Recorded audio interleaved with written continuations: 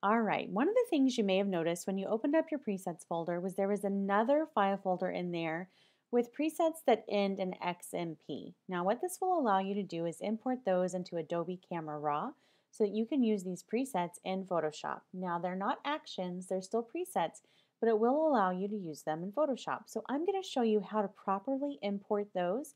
That way they're accessible to you whenever you're ready to use them.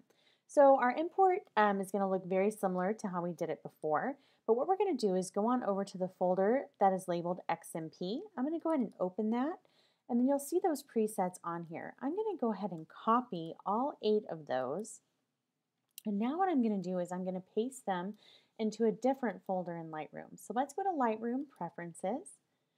Very good. Now show Lightroom Presets folder. And instead of working in Lightroom, we're actually going to scroll on up to Adobe Camera Raw, and then we're going to find Settings. Now, it's very important that we paste those eight individual presets in here. Don't paste the entire folder. You want to make sure that you pulled out the presets individually, paste those in there. Now you're going to go back to Lightroom, you're going to restart it, and you're going to be all set.